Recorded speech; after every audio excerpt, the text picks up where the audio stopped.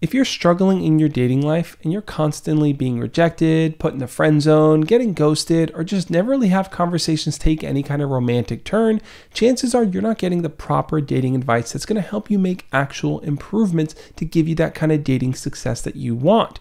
A lot of times, the mistake that people make is that they keep trying the same thing over and over, hoping that this time it's actually going to work for them. That can mean using the same dull openers, asking the same boring questions, or wearing the same unflattering flattering outfit on every date that you go on. Now, a lot of people don't really have someone in their corner coaching them and helping them and inspiring them to make that change.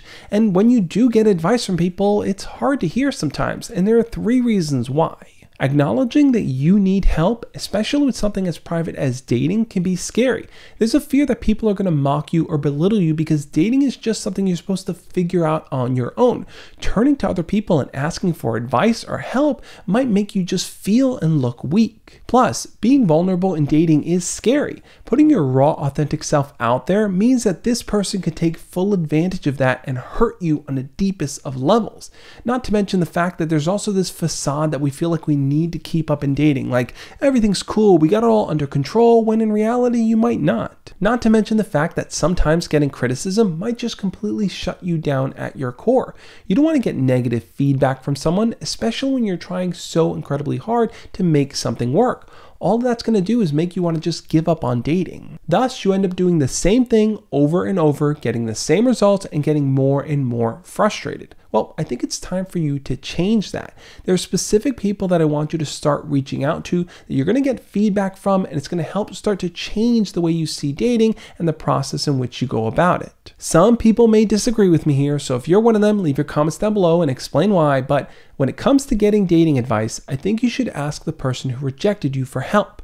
The reason why I say that is because they're going to tell you what turned them off, what they didn't like, what about the interactions just kind of killed the spark for them they are probably the most recent person you can ask that's going to give you the most up to date information about your dating style. Of course, the challenge there is that if you were to ask them straight up, why'd you reject me? They're not going to give you an honest and brutal answer. No one ever wants to look like a jerk for rejecting someone else, so you might get a soft, simple answer like, the chemistry wasn't there, or I just didn't really see between us. Something safe and easy, which is why you need to ask that question in the right kind of way. It needs to be done in a more objective kind of way, sort of like a pay it forward type of system. That's why I would frame the question like this Hey, things didn't work out between us, which is totally cool, but I wanted to get your take on something. What is one thing that you think I can improve about myself, my appearance, my approach that can help me in my dating life? Any advice would be wonderful. When you say it like that, it gives the person enough space to think a little bit more critically about what went wrong. If they were to share something, especially if it was kind of embarrassing on your end, they're not going to feel like they're the one tearing you down, but they're actually trying to lift you up to make you better for the next person that you date.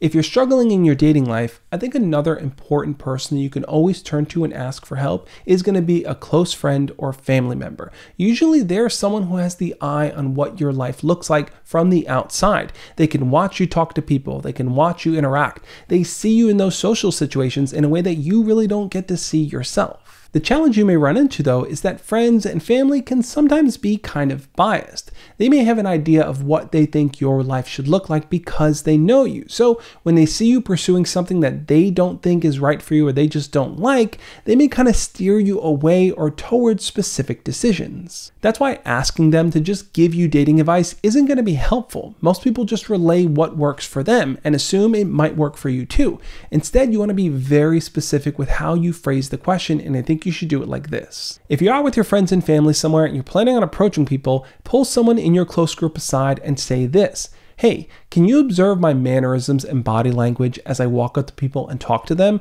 How are they responding? Does it look like they're interested in the conversation or pulling back? Give me that exact feedback, not personal opinions, not critiques, not advice or judgment on what you think I should or shouldn't be doing. Just tell me the exact observable things that you see and how things are playing out. When you ask them to put their personal opinions aside, they start to approach things a little bit more tactically. They start to pick up on things that just go over your head. Maybe you look down at your feet when you talk to people. Maybe you don't project your voice. Maybe you leave awkward pauses in conversations, and that's when the person starts to look away and look around for other people to talk to.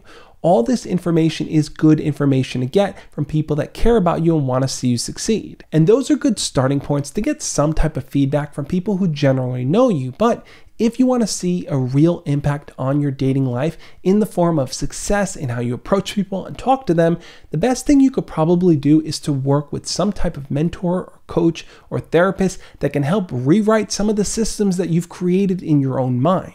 Things like negative self talk, past influential dating trauma, or even just a lack of core beliefs in what you care about, being able to express that and share that in the dating space. Having this outside objective third party in your corner might actually give you the confidence you need to believe that you can succeed in dating. They may do things like review your text conversations to see where you dropped the ball or where there were missed opportunities. They may watch you approach people or encourage you to go to more social events so you can pursue more actively rather than just picking one person, putting all your eggs into one basket, and hoping things work. But it all has to start with acknowledging that seeking help is part of the growth process, that being vulnerable is a strength and not a weakness, and that trying new things and getting feedback can be a positive part of your life and not a negative one. So start reaching out to people, gather as much feedback as you can from multiple sources, and identify what the common denominators are that they keep bringing up, because that's going to give you the first step that you need to start tackling. I know you have what it takes to be somebody great. You can find someone to love you, and you are capable of loving someone else in return. You just have to keep working on it. On that note, I'll talk to you next time. As always, love and peace.